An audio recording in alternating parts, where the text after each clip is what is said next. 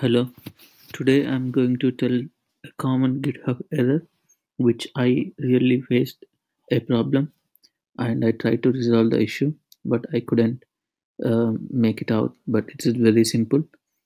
Uh, actually, when we tried something, when we tried to push something into a central repository, uh, you know, there is an error like 403 error uh, which will keep on coming.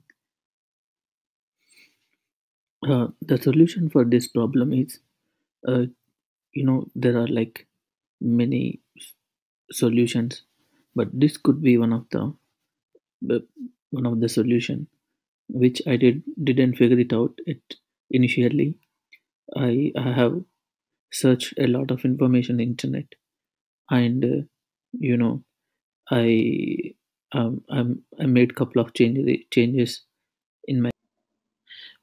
uh, the solution for my problem is i the the thing is like i want to push something into the central repository but i haven't got a collaborative access from the central repository which where i want to push.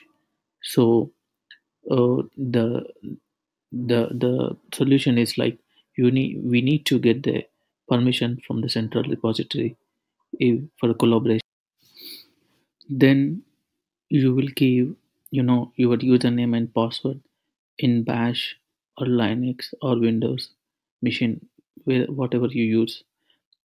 Uh, you give your username of your git account and uh, password. Password is generally is not unseen but still you give your your credentials. It will work if you don't want to give your username and password every time then there is a uh, there is one way to this.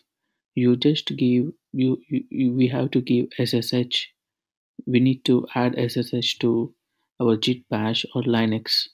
Uh, there are uh, videos in uh, youtube where you can find how to add ssh so you know it will be easier if you want to push something